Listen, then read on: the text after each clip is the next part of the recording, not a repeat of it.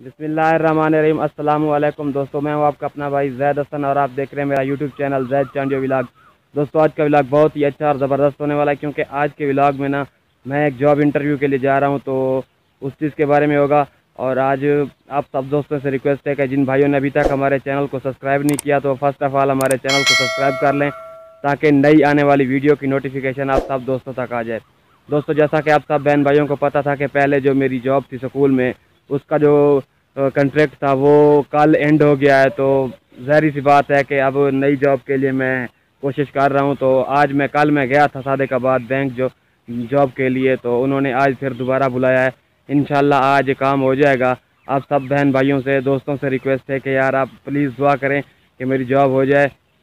और जहाँ मैं पहले जॉब करता था, जिस बैंक में, उधर मैं खुद नहीं जा रहा, वो बुला रहे हैं, लेकिन मैं किसी और में जा रहा हूँ, उधर सैलरी थोड़ी ज़्यादा है।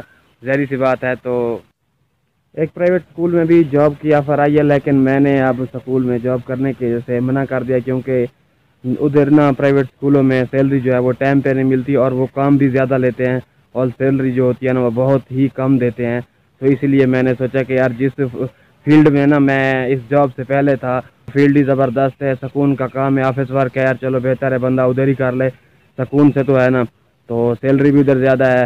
तो आप सब बहन भाइयों से रिक्वेस्ट है प्लीज़ बार बार मैं कह रहा हूँ कि अपनी दुआओं में याद रखिएगा। अभी चलते हैं, मैं उधर जा रहा हूँ। बाकी जो है, आपसे जो भी बात होगी, वो इंशाल्लाह डिस्कस करूँगा मैं वापस आके। अल्हम्दुलिल्लाह दोस्तों इंटरव्यू बहुत ही अच्छा गुजरा है और इंटरव्यू से मैं अभी वापस आ रहा हूँ। तो उन्होंने जो सवाल पूछे, यकीनन वो ऑलरेडी मैं काम कर चुका था। तो उस चीज़ के बारे में तो मुझे पहले से ही पता था। तो बाकी उन्होंने जो बातें की कि एक दो दिन तक आपको ना एचआर जो इस्लामाबाद उनका हेड ऑफ़िस है, उधर से कॉल आ जाएगी। तो यानी कि ऐसा समझ लें कि हंड्रेड परसेंट श्योरिटी दी है कि उन्होंने कि आपकी जॉब कन्फर्म है, क्योंकि उनको ना एक्सपीरियंस बंदा चाहिए था फ़ील्ड वर्क के लिए। तो जहरी सी बात है, मेरे पास ऑलरेडी दो साल का एक्सपीरियंस था इस फ़ील्ड का। तो और भी बहुत सारे लड़के आए हुए थे तो उन्होंने अपॉर्चुनिटी ये मुझे दी है। तो यकीन जाने, आज मैं बहुत ज़्यादा खुश हूँ।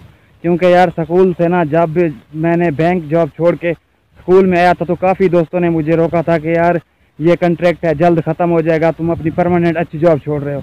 तो अल्लाह ताला ने ना ऐसा समझ लिया कि जैसे ही जॉब ख़त्म हुई है तो वैसे ही मुझे जॉब मिल गई। तो जो विलाग का सिलसिला है कुछ दिनों के लिए ना, क्योंकि स्टार्ट है तो ऐसा ऐसा जैसे काम की रवानी होगी तो फिर स्टार्ट करेंगे, लेकिन फ़िलहाल कुछ दिनों के लिए ना इसे बंद करना पड़ेगा, क्योंकि प्रॉपर टाइम बैंक जॉब को देना पड़ेगा, उसके बाद जो होगा, फिर आगे व्लाग बनाते तो रहेंगे, लेकिन इसमें थोड़ा बहुत टाइम लगेगा। तो अब मिलते हैं अगले व्लाग में।